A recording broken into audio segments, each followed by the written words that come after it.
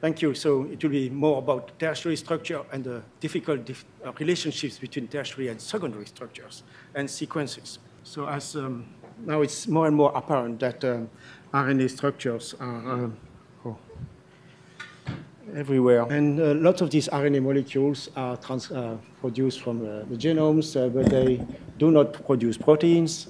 And in this way, they have a lot of functions to uh, regulating transcription and translations. They go back to the, on DNA and to epigenetics. So all these transcripts, they are called uh, non-coding RNAs, are really, uh, they form various uh, networks of interactions, and they are really key in the development of the cell.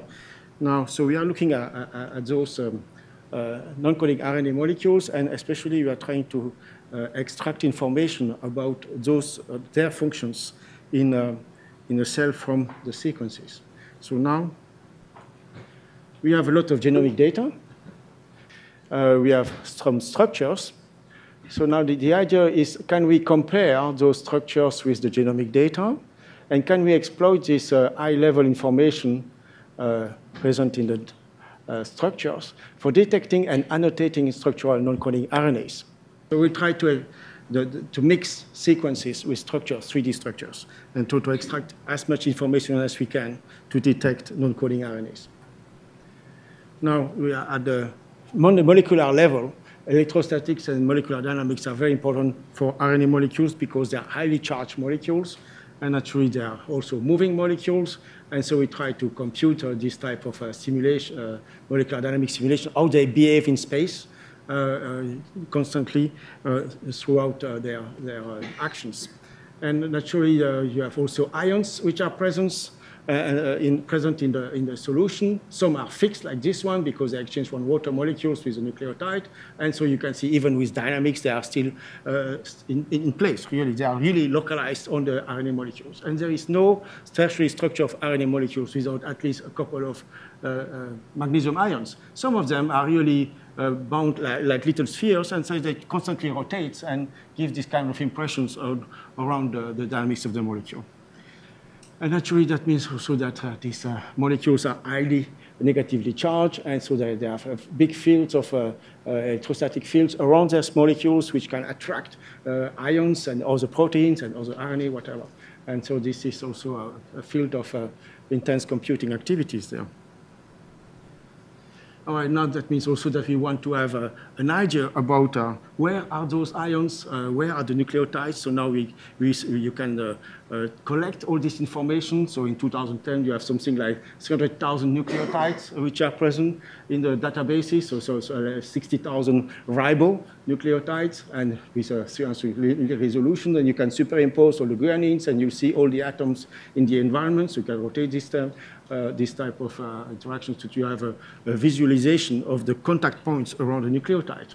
And you can see also that, for example, in, uh, you know that the bases rotate with respect to the sugar, and you can have also some ideas that you see also all the variability in positions of the phosphate oxygen with respect to the base, and you have really two main domains, this one and that one, and in DNA, DNA and RNA, as can be seen from this type of uh, web service uh, available to now, if you go at the next level from the nucleotide, nucleotides are, they, they are polymerized, they're polynucleotides, and they form what we call secondary structure, like here, that's the 2D structures of uh, uh, group 1 intron, for example, that is a 3D model of this type of molecule.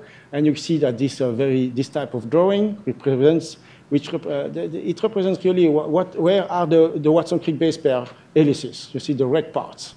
Red parts are only Watson-Crick base pairs, helices. All the yellow parts, yellow parts are not Watson-Crick base pairs, but they do all sorts of interactions. They do form contacts. And uh, you will see later that all these uh, bulges, for example, loops here, they are not uh, like this open. They are really engaged in Watson-Crick, non-Watson-Crick pairs, but in pairing with each other or in stacking interactions. And it is because these uh, loops interact with each other that you can have and obtain such a compact type of molecule. So we need to understand this better to distinguish what is 2D structures, what is 3D structure, and to keep that in databases and in alignments and multiple alignments of RNA. So to do this, we develop an ontology of uh, these various ways of pairing. And this is, uh, that means instead of looking at a nucleotide with uh, uh, all the atoms, etc., we try to symbolize it with a triangle. And we will say now we give a name to a base pair by naming the edges which will interact with each other.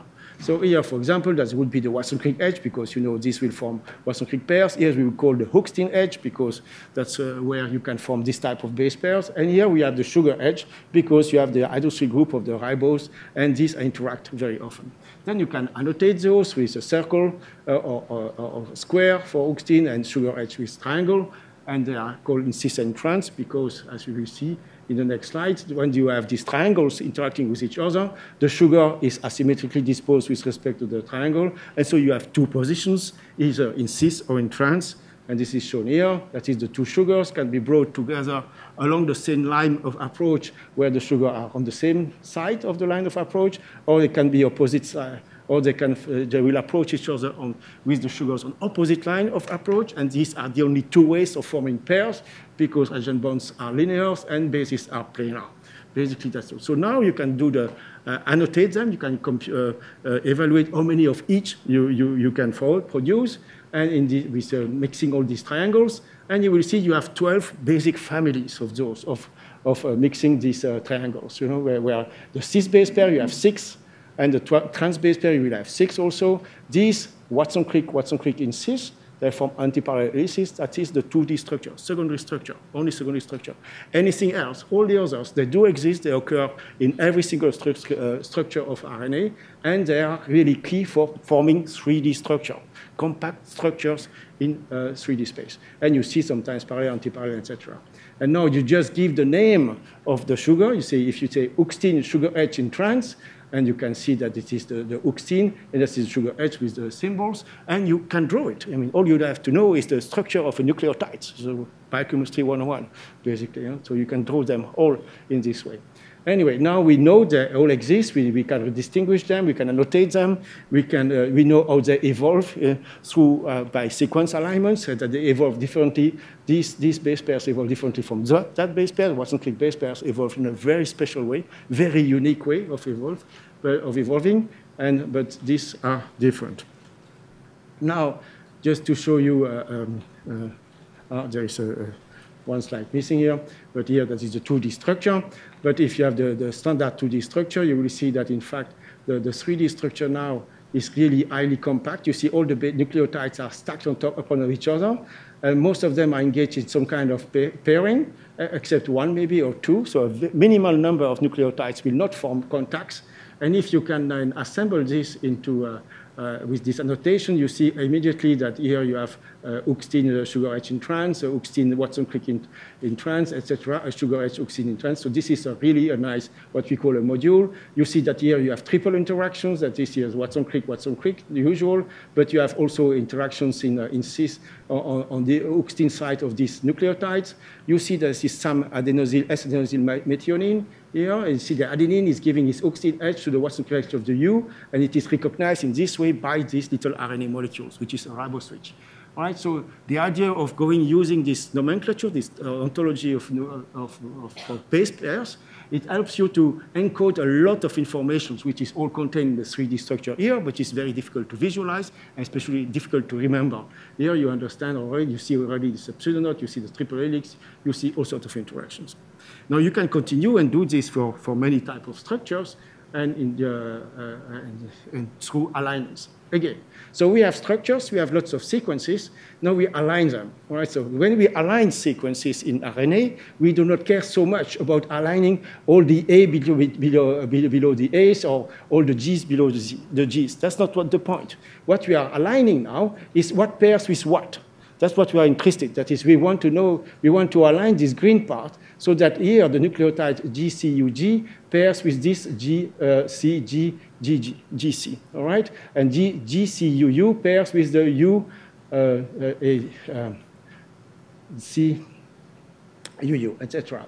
Right, and so you can continue in this way. Or, or, or the, the, the, the, purple one here, this GAA pairs with the UU. So we want to maintain this type of contact through the uh, alignment. So we don't want letters below each other. We want pairs below each other and connected together, forming this helices. So this will be an helix here. That is the top. This is the capping loop over there. And the green part will be the bottom helix with a variant at this position. And now we see that these red parts, they do interact with each other, but they form complex motif, a, a module where we call, uh, uh, with you have the cis-Watson-Crick, here you have Hoogsteen, sugar edge, Hoogsteen-Watson-Crick, etc. So this module has a different type of relationship between each other, and they do evolve differently. So this is also there. Now we have ways of, of, um, of producing this automatically with sequence, somewhat automatically, and to extract the evolution of this type of modules. Again, just to show you what's the real difficulty with multiple alignment with uh, RNA molecules. Here, this is U1 RNA. This U1 RNA is a cross. You see, it's really four helices, one helix one, two, three, and four. And uh, you have some invariant regions because it, it binds to the exons of the uh, of, uh, of messenger RNAs. And now, if you look in yeast, you see that helix one is rather well conserved. It has a, a very defined loop, etc. But now you go to, to helix uh, three here, helix two, uh, helix three. You see that helix three here it varies very uh, between uh, eight nucleotides and something like 100, so between 10 and 120 nucleotides. So in this position in the loop here, you have between 10 and and 120 nucleotides. So it's almost impossible to produce this type of alignment automatically while maintaining this four-way junction. The four-way junction is always there, whatever you insert at these positions. And you look at uh, uh, helix 4, for example, here the loop is between 4 nucleotides and 650 nucleotides. So huge variations in sequences. And for the automatic alignment, we want to have to maintain the fact that there is a topology between these, these alignments and also at the same time maintain the knowledge that here you have 640 nucleotides in one precise type of RNA. All right? And this is up to now, we don't, here we lost them. You see, he's gone. We just write the number of nucleotides. We would like to be able to focus on this, extract them, but still maintaining this topology. And this, up to now, we don't manage to do. We do it by hand. Anyway, now you can scan all these, uh, all these uh, RNA molecules, and you will see that you can decompose them all in, uh, into um, in, in modules, uh, recurrent modules that you will see. For example, this type of, of module here is will, you will find in many, many different type of, of molecules. And what, wherever, whatever the phylogeny, wherever you are, which, whichever the type of molecules, uh, whether catalytic or not, all right? And others, all of these other ones. So here, this, again, this nomenclature and contains all the 3D information in a simplified fashion, and a fashion where you can remember having seen already this type of contact. And so you can manipulate. Here, for example, is the network of interactions of the 30S, uh, the small particle of the ribosome, the 60S. And you see what we saw this morning, for example, here, that is clearly uh, this fractal globular, uh, because you have one domain here, a second domain over there, and a third domain over there. And the, the red part, you see that you have more contacts between, in, within each domain than between domains. Uh, these are the red, the red elements all that. And all this, and now you can count them, you can find them, you can align those regions, and you see uh, exactly how they should behave through the, million, the, million, uh, the thousands of uh, 16S sequences uh, available. So, so this, this type of analysis gives you that you have modules. What we define as a module is an ensemble of ordered non-Watson-Crick base pairs. That is, they are ordered, so that it is a, it's a set of non-Watson-Crick base pairs, but in a given order. That is, you cannot flip this one, uh, this exchange the, sugar, the square triangle by, with the triangle square. It's not the same. You cannot move them around. I mean, they are in this order, right? And here also, this, this, this one is uh, the Watson-Crick Hoogsteen in, in, in, trans, is here, it is not over there. And you cannot flip these two. So it's a set, it's a unit. The unit now is a module where uh, you have this ensemble of non-Watson-Crick base pairs present in there. And they have various names. We have a couple of them, but the number is limited, and they are absolutely key for forming a 3D structure. If you find a sequence and you find where you can fold it and you can show there is one of those motifs. You know this molecule is really structured and it binds to a protein, it, it does something special, but it is not a standard type of RNA. So the number is limited uh, uh, of, uh, of these uh, identical modules. Occurrence is they all occur in all types of RNA across all kingdoms of life. So here you have different uh, examples of those. Where do they occur?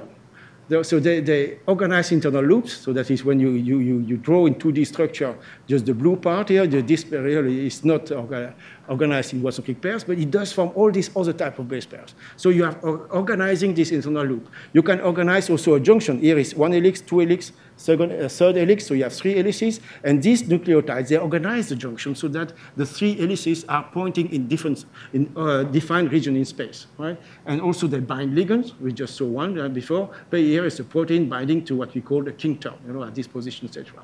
And here you have very precise uh, conformation that is uh, this, this one here, that is where you have this type of interactions. Now, the question is, can we detect them in sequences? So they're really key important for a structure. Again, we, the aim is to find out whether a given non-coding RNA is interesting and potentially valuable to expertise or to do more experiments on it. Right? So if we can detect in a sequence that there is a, a one of those modules which are so important and everywhere in sequences, then maybe we'll have more information for, on, on this type of RNA. So can we detect them just barely on sequences? So here, for example, that's a sequence that is, uh, I think, uh, uh, 23S of, so of a ribosome. Are there kink turns in this sequence?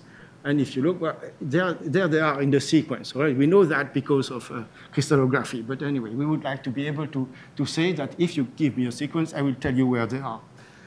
All right, so naturally, uh, we define the way of finding modules uh, is you can say define some type of uh, arrangement of, of the, the, nucleotides and say you have so many nucleotides, etc. That's, that's rather standard. And then naturally, you will have many false positives, too many, large ways. You, you will get too many, so many possibilities with this approach. But when you do this, you are, you are basically working, you are working with consensus sequence. So you are not really uh, uh, exploiting what is inside a module. What is inside a module is that all those nucleotides, here you see all the variations. All those variations were obtained by strict alignments of uh, all sequences we know where there is a kink turn. So we align them very precisely. So we have the whole range of variation of those, of that module in various uh, sequences, various types of RNA. And that's why we, we show here that in this position you have a G, sometimes an A, here you have only an A, etc. You have all these variation. Then, but you encode this by going back to a consensus sequence, and actually it does not work. So the, again, this modular, modular unit, all bases of a module depend on each other. That is, when this one here, you have all these possibilities, you have all sorts of these possibilities over there, but if you, if you look here, you have 63, uh, 63% uh, of the G, 23% of the C, 9% of the U, 1% of, uh, uh, of an A, but now in front of it, you have an, here you have this, this type of variation, all right?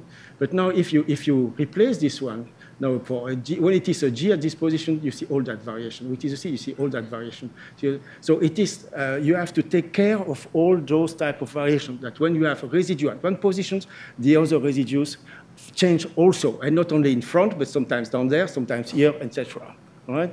You see, so you have to take care of all the variations. As this, this variation is compatible with a given module because uh, geometrically they are the only type of nucleotides which can form this type of non-restricted base pairs to maintain this module intact. So you have to be uh, to decompose, to, to, to deconvolute all this and take into account this. And the way we did that is through Bayesian networks. I don't want to explain this in details, but anyway, so we know exactly always where, if, if this one varies, it is connected to all the other ones with this kind of probabilities, etc. So we include in this way, we, we, all the interaction, the interaction networks of that module is taken care of. Right? And in this way, then, you can find now in sequences uh, uh, uh, these modules. And for, but uh, again, we know that they form 2D structures. So in the ensemble of all 2D structures, we will look for those, the, the sub-ensemble, where these, these two modules can coexist, like in this case here, there. And now you have a probability of uh, this, uh, this type of modules occurring in this set of ensemble. And from this, you can deduce the probability of finding that uh, of having this type of these two modules in that given sequence. So you see that no, false positive here decrease very much. You are, you are much you cleaned up a lot. It is just one sequence. With just one sequence, you get immediately 3D information here. Right? But you still have some false positive. But now, if you exploit alignments, and you now you add on this, on this sequence, you know where it comes from, and then you get all the other RNA of that type from the, the, the databases, and uh, you, you align them roughly, very rough alignment. don't need to be very precise. It will find itself right away. Then the, the peaks are ex exploding. You have only now the, the, the, solution almost. You clean up the map entirely. Why? Because the power of aligning sequences and to extract 3D information. But at this level, the alignment need not be very precise, but to deduce the Bayesian network, you need a very precise alignment because there is naturally, if you make any mistake, all your statistics will be influenced by this. And this way, this is also a program, Varna, which is very nice, uh, and it allows you to, to draw with the non-restricted base pairs and produce any things, and you see all sorts of new modules that we found in various types of RNA. So this is the example to show you the power of uh, using, exploiting all the range of variations present in the sequences if you can analyze them, analyze them and put them in kind of a framework, in this case, Bayesian networks. Now, once you have modules, now we can move to modeling by modular assembly. And there also we have been, uh, uh, uh, this assembly program where an assembly program is, is uh, has three layers, at least uh, you have uh, four layers. You have visualization layer so that you can visualize what you are doing, the network communication layer, which is below, and you have the production layer, which is in between. And this can be flight, fly, files coming from various programs. It does not matter. What is really important here is that you have, at the same time, with the same environment, as well you have alignment, multiple alignments, so 1D, you have the 2D and you have the 3D, where in which you can compute uh, modules that you have seen in there, or you can assemble them, you can put them electron density, wherever the electron microscopy, whatever, and you uh, uh, every time you, ma you, manipulate here, you will see appear in the 2D editor, etc. So they all talk to each other. So it's integration of the 1D, 2D, and 3D. Uh, but it is interactive, so it's not automatic, so you have to manipulate. So it's where you are not a spectator anymore, you are an actor. It's just an example, again, of a, a structure with multiple ions, with all the contacts in them, and the standard type of, uh, of uh, 2D molecule. And now, if you want to, to, uh, to, to assemble this type of molecule here, you can just pick in the all databases that you, you can search all everything. You see the, the one which looks the more uh, uh, similar to this one, you pick it, and you can automatically uh, hook it together and assemble this molecule step by step by starting from this modular uh, assembly, all these modules you have found. And for example, in this way, you can really uh, uh, build up the eukaryotic large ribosome unit starting from the small ribosomal unit. So you see that the small and the, and the, the, the, the bacterial and eukaryotic ribosome, but you have huge insertion again in there, and there we don't know, and so you identify them immediately, and you know this, this you have to be, uh, you can then uh, construct. This is superimposition done after alignments of the bacterial ribosomal unit to the eukaryotic ribosomal unit. Again, strict alignment in 2D gives you an info amazing information at the 3D level. Now we are trying also to set up with friends uh, in, in, the community of RNA modeling uh, a CASP-like prediction contest. So that is, uh, we, we, we, some crystallographers tell us that they are going to, to publish soon a, a, crystal structure. We give the sequence to a community, and they try to compute and predict the structure of, the, the, the of the, that molecule in there. Now the question is now, how do you compare? How do you evaluate the product of these automatic modeling programs? because you can use root mean square deviations, etc. So here, for example, 3.85, but as you know, root mean square deviation, it uh, flattens out uh, the, all the deviations. So you, you, you spread the deviations throughout the molecule. You don't know where you went wrong. But if you, the idea of making these prediction programs and these contests is to be able to devise, to, to find out where you make mistakes and to devise where, is the, where are the force field wrong and, and how can you improve them. So you have to know exactly where you made the mistakes. And this is not an easy problem uh, comparing 3D structures. So we develop, for example, here we have a tool where we can really see that that is a, a better alignment um, prediction than this one. You see you have large red positions. That is where we, we spread, uh, the, the, we superimpose uh, uh, in continuous fashion the two molecules on top of each other. And you see here uh, only a couple of, of positions are really not correctly predicted. But this is not uh, an easy problem to find out. So anyway, we are continuing this on this one. All right, so just to, to finish, so, so Fabrice did this assemble program. Pascal did a lot of this uh, uh, MD process simulation pro, uh, uh, images that I showed you, that uh, especially the, the role and importance of ions and water. Neocles Leontis, that is for the development of this nomenclature of non-restricted base pairs and Jose Cruz, a PhD student, who did this uh, uh, Bayesian networks to find out about uh, uh, where are these modules in sequences, right? So all the build-up here was really based on, uh, on images. Um, I guess you know in a French this this is not a pipe, but these images we have behind that we have an insight, and we try to uh, understand better these RNA molecules again to uh, uh, improve the annotation and understanding of their function. Thank you very much for your attention.